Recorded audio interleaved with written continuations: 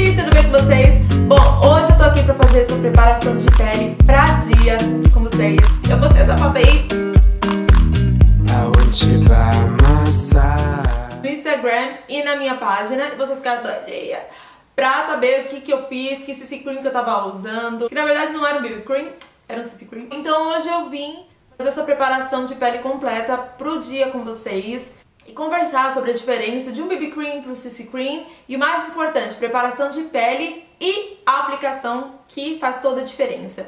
Então, vamos lá. Bom, BB Cream surgiu aí no mercado, ninguém sabia muito bem, né? E nada mais é que um Beauty Balm, que tem várias funções, é um creme multifuncional, pode ser uma base, Pode ser um primer, né, porque ajuda na correção dos poros, tem ação de protetor solar e controla a oleosidade. BB Cream hoje em dia tem vários no mercado, né, e cada um tem a sua especialidade, alguns são antioxidantes. E aí surgiu esse cream com seu efeito super hidratante para pessoas desesperadas de pele seca como eu.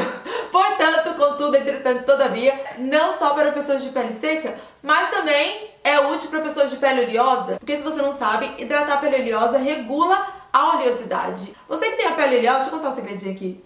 Pele oleosa não é sinal de hidratação. Hidratação é medida pela quantidade de água dentro da célula, não de óleo. Então, mulherada, bora hidratar essa pele oleosa aí. Vou mostrar os meus BB Creams e CC Creams favoritos. O primeiro é o da MAC, que apesar de ser um BB Cream, é super hidratante.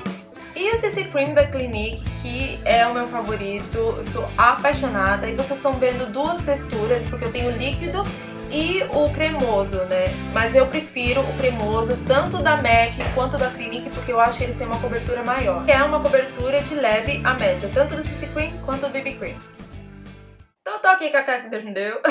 e hoje eu vou usar, hum, deixa eu ver, Clean. E o meu narizinho batatinho pra vocês que acham que eu fiz plástica. Tudo maquiagem.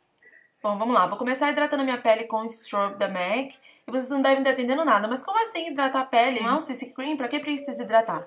A nossa pele tem um alto poder de absorção. Se você não passar nenhum hidratante, ao invés da sua pele beber o hidratante, ela vai beber a base, o BB cream, CC cream, seja lá o que for que você colocar nela. Então, para peles oleosas, procure um hidratante, né, à base de gel, e para as peles mais secas, um hidratante mais cremoso. O que eu estou usando hoje é o Strobe da MAC. E vamos lá pro truque. Aproximei a câmera o máximo que deu para vocês verem o close-up da minha pele, né? E vocês estão vendo alguns poros aí. Detalhe, eu não usei nenhum primer. E agora eu vou aplicar o BB Cream, isso serve para base, para qualquer coisa. Quando eu aplico qualquer tipo de base, os poros aparentam muito mais. E nessa hora você vai pegar um pincel de blush, que eu quis fazer com pincel de blush porque todo mundo tem em casa, e você vai começar a fazer círculos, movimentos de círculos na sua bochecha, né? Porque na bochecha que os poros são mais concentrados, de vai e volta. Isso vai fazer com que a base penetre nos poros, não apenas sente em cima da sua pele, que é o que causa a aparência dos poros, né, abertos e evidentes. E esse é o resultado. Cadê os poros? Sumiram. Tá aí o antes e o depois para vocês compararem. Demais, né? Vamos continuar.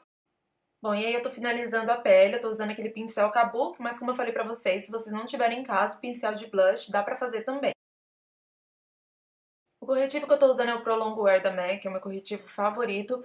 E dica pra vocês, o melhor pincel pra passar é, corretivo é aquele pincel de esfumar, aquele pincel de esfumar olho. É o melhor, o acabamento fica impecável.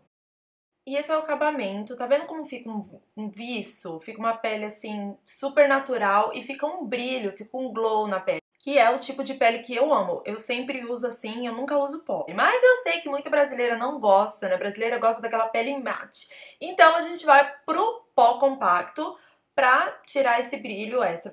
E ao invés de você vir com um pincel, né, retirando, varrendo todo esse trabalho que a gente fez aí, você vai vir com uma esponja, só depositando o pó. Não muito pó, só o suficiente para tirar o brilho do BB Cream. E na hora do blush, ao invés de a gente usar um blush em pó, a gente vai usar um blush em creme para dar um acabamento mais natural ainda.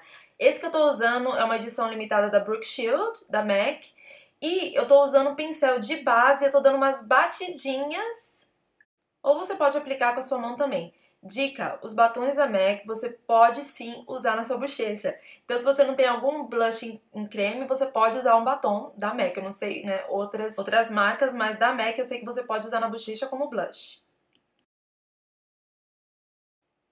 E de iluminador eu vou usar o Soft and Gentle. E tô fazendo um leve contorno no meu nariz, mas contorno a gente fala em outro vídeo. Se vocês quiserem que eu faça um vídeo mais detalhado, né, de contorno e pele pra noite. Esse é o resultado dessa pele super natural. Esse CC Cream da Clinique é um produto de alta tecnologia, tem muito benefício para a pele. Tem vitamina E, aloe vera, que são calmantes para a pele, ácido hialurônico, que é um ácido de fator hidratante, protetor solar, fator 30 e ainda camufla as imperfeições da pele. Então é isso, gente. Espero que vocês tenham gostado. Eu não vou mentir, né? CC Cream da Clinique não é um produto barato. É um produto carinho, mas é porque ele tem um efeito cosmético, ele não é só um efeito estético como uma base. Ele tem outros fatores que vai estar tá cuidando da sua pele enquanto camuflando e cobrindo as imperfeições. Por isso, ele é um precinho mais salgadinho, mas a minha opinião compensa, porque é um produto de efeito cosmético e a longo prazo você vai sentir usando todos os dias, ao invés de usar uma base todos os dias. E cuidando da sua pele, você vai ver que a sua necessidade de usar uma base de alta cobertura, ser dependente de tanta maquiagem, vai diminuir. Não adianta, né, você investir na base mais cara do mundo, a mais ostentada, se você não cuida da sua pele. E quanto mais você cuida da sua pele, menos maquiagem você precisa e mais natural, mais bonita ela fica. Então é isso, gente. Espero que vocês tenham gostado do vídeo. Espero que as dicas tenham sido úteis pra vocês, tá? E se gostou, já sabe, clica no gostei que aí eu vou saber se vocês gostaram desse tipo de vídeo, com diquinhas, e eu trago mais pra vocês. E se ainda não é inscrito no canal, já sabe, se inscreve aí pra ficar ligado no próximo vídeo que tá chegando. E as minhas redes sociais estão aqui embaixo, se vocês quiserem me achar, comentar. Então é isso, gente. Super beijo. E a gente se vê no próximo vídeo. Tchau!